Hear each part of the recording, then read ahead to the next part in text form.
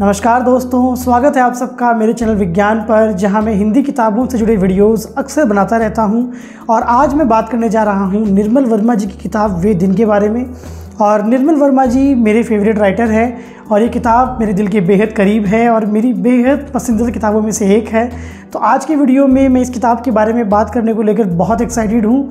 तो चलिए शुरू करते हैं आज का वीडियो।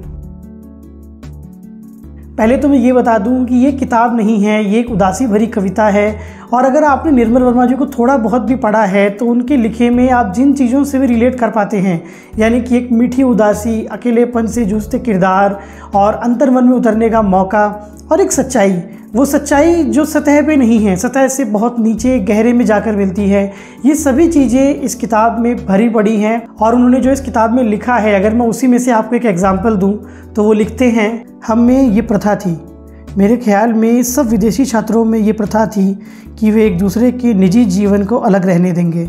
इसलिए नहीं कि हम एक दूसरे की प्राइवेसी का आदर करते थे, बल्कि हमें मालूम था कि हमारी दखल देने या ना देने से कोई अंतर नहीं पड़ेगा। हम सिर्फ़ एक दूसरे को इतनी सीमा तक जानने लगे थे, जहाँ यह पता चल जाता है कि तुम दूसरे की मदद नहीं कर सकते। तुम मदद कर सकते हो, लेकिन उतनी नहीं जितनी दूसरे को ज़रूरत है। और यदि ज़रूरत के मुताबिक मदद नहीं कर सको तो चाहे कितनी भी मदद क्यों ना करो, उससे बनता कुछ भी नहीं। कुछ लेखक होते हैं जिनकी लेखन शैली में एक लय होती है, एक फ्लो होता है जिसमें आप बहते चले जाते हैं। जैसे अगर मैं एक एग्जांपल दूँ तो भीष्म साहनी जी की जो किताब है तमस, अगर आप उसे पढ़ेंगे तो उसमें एक फ़्लो है और आप एक सिटिंग में उसे ख़त्म कर देंगे, आप कहानी के साथ में बह जाएँगे और आप सोचते रहेंगे कि आगे क्या होगा। पर निर्मल वर्मा जी के साथ में ऐसा नहीं होता। उनकी कहानियों के साथ में आप बहते नहीं हो, आप उनमें डूब जाते हो। उनकी कहानियों में क्या होगा? से बहुत ज़्यादा ज़रूरी होता है कि जो हो रहा है वो कैसे हो रहा है। जो किरदार है, वो क्या देख रहा है, क्या सुन रहा है, क्या महसूस कर रहा है और उससे उसके मन में क्या हो रहा है। और ये सब आपको इस किताब में बहुत पढ़ने को मिलेगा और एक और बात मैं आपको बताना चाहूँगा कि अगर आपने रिचर्ड लिंकार्टर की बिफोर सनराइज़ मूवी देखी है और अगर आप उसके फ़ैन हैं तो ये किताब आपको ज़रूर पढ़नी चाहिए और आपको ये किताब बहुत ज़्यादा पसंद आएगी। अब कहानी की बात करें तो कहानी प्राग में रहने वाले एक हिंदुस्तानी छात्र की है और उसका नाम क्या है मैं आपको नहीं बताऊँगा क्योंकि पूरी किताब में उसका नाम सिर्फ़ एक या दो बार ही आया है और इस बात से कोई फ़र्क नहीं पड़ता कि उसका नाम क्या है। इस वीडियो के लिए मैं उसे हमारा हीरो बोलूँगा।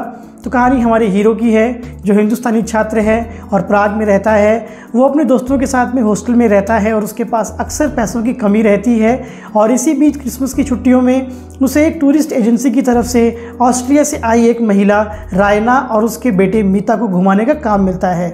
वो तीन दिन रैना को प्राग घुमाता है और वो तीन दिन जिस तरह से रैना के साथ बिताता है और उस दौरान वो और रैना किस तरह से एक दूसरे के नज़दीक आते हैं और वो क्या महसूस करता है, बस यही कहानी है इस किताब की। तो अब बात करते हैं कि मुझे इस किताब में क्या क्या चीज़ें अच्छी लगी।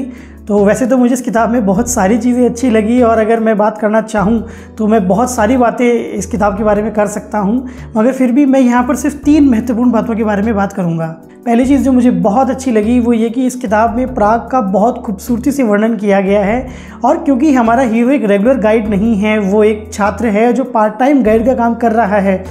तो इसीलिए वो रायना को जो मशहूर जगह हैं, जैसे म्यूज़ियम्स हैं या गिरजाघर हैं या जो पहाड़ हैं, वो वो सब चीज़ें तो दिखाता ही है, पर उसके अलावा वो प्राग की गलियाँ, प्राग के चौराहे, प्राग के बाज़ार, उसकी दुकानें, उसके पब, उसके बार, उसके कैफ़े, वो सारे और उसका हॉस्टल तो वो सारी चीज़ें जो रेगुलर गाइड नहीं दिखाते, वो रैना को भी दिखाता है और साथ साथ में हम पाठकों को भी मौका देता है कि हम प्राग के बारे में इतनी खूबसूरत चीज़ें पढ़ सकें। दूसरी चीज़ जो मुझे बहुत अच्छी लगी और जो कि मुझे लगता है कि निर्मल वर्मा जी की किताबों और कहानियों में एक रिकरेंट थीम भी होती है, वो कि अकेलेपन से जूझते किरदार। और इस किताब में जो मुझे बहुत अच्छा लगा वो ये कि चाहे सारे किरदार जो हमारा हीरो है या फ्रांस या टीटी या मारिया या रायना, ये सभी किरदार अकेलेपन से जूझ रहे हैं, पर ये डिग्निटी के साथ में जूझ रहे हैं। ये दयनीय किरदार नहीं है और ये एकदम हारे हुए किरदार नहीं है और एक बात जो इम्पोर्टेंट है वो ये कि इनके साथ में कोई हादसा नहीं हुआ। यानी कि यही लाइफ है। लाइफ कोई फूलों का सेज नहीं है। कुछ आपको प्लेट में परोस के कुछ नहीं मिलेगा। ये एक हल्की सी उदासी, ये एक फ्रस्ट्रेशन ये छोटी सी छटपटाहट, ये लाइफ में हमेशा रहेगी और हमें लाइफ को इसके साथ स्वीकार करना चाहिए और डिग्निटी के साथ स्वीकार करना चाहिए। और ना तो जो हमारी फ्रस्ट्रेशन है, वो हमें किसी पर निकालनी चाहिए और ना ही किसी से उम्मीद करनी चाहिए कि कोई हमें समझेगा। तीसरी बात जो मुझे बहुत खूबसूरत लगी, वो ये कि अगर कोई चीज़ है और वो आपसे दूर होने वाली है और आपको पता है कि वो आपसे दूर होने वाली है तो फिर वो जो आखिरी के लम्हों में आपकी छटपटाहट होती है, वो इस किताब में बहुत खूबसूरती से दिखाया गया है। हमारा हीरो, उसे पता है कि रायना कल चली जाएगी और उसके पास बस ये आज की रात है। और वो जो लम्हे जा रहे हैं, वो उन्हें किस तरह से पकड़ने की कोशिश करता है, किस तरह सहेजने की या समेटने की कोशिश करता है, ये इस किताब के आखिरी पन्नों में बहुत खूबसूरती से दिखाया गया है। और मुझे ऐसा लगता है कि जब ये आखिरी पन्ने आप पढ़ रहे होगे तो आप खुद को खो दोगे आप डूब जाओगे उन पन्नों में। इतनी खूबसूरती से इस किताब के आखिरी पन्ने लिखे गए हैं। और ये जो बात मैं आपको कह रहा हूँ, इसे पुख्ता करने के लिए मैं आपको किताब में से एक दो एग्ज़ाम्पल देना चाहूँगा। और निर्मल वर्मा जी लिखते हैं वह कल नहीं होगी, ये महज शब्द थे, वे अभी सच नहीं बने थे। मुझे विस्मय सा हुआ कि मैं बिल्कुल आतंकित नहीं हूँ। तुम उस बात से आतंकित नहीं हो सकते जो सच है, लेकिन जो अभी तुम्हारे लिए सच नहीं बनी। मुझे सहसा लगा, जैसे आने वाले दिनों में मैं जब भी कोई चीज़ देखूँगा, मुझे हमेशा यह याद आता रहेगा कि मैं रैना के साथ वहाँ गया था। मैं कभी पहले की तरह अपने में नहीं रह सकूँगा। उस रात पहली बार मुझे लगा कि एक व्यक्ति दूसरे के लिए अंधेरा है, जैसे वह मेरे लिए थी, मैं उसके लिए। तीन दिन, तीन वर्ष, समय कुछ भी मानी नहीं रखता।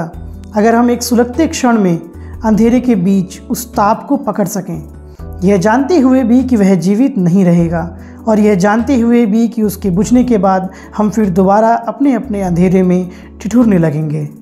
तो ये था मेरा वीडियो और आपको वीडियो कैसा लगा, ये कमेंट सेक्शन में मुझे ज़रूर ज़रूर बताइएगा। और अगर आपको वीडियो अच्छा लगा है तो अपने दोस्तों के साथ में इसे शेयर कीजिएगा। और मैं हिंदी की किताबों पर अक्सर ऐसी वीडियोस बनाता रहता हूँ तो अगर आपने अब तक मेरा चैनल सब्सक्राइब नहीं किया है तो प्लीज़ वो भी कर लीजिएगा। जल्द ही मिलते हैं मेरे नए वीडियो के साथ में, तब तक अपना बेहद ख्याल रखिए।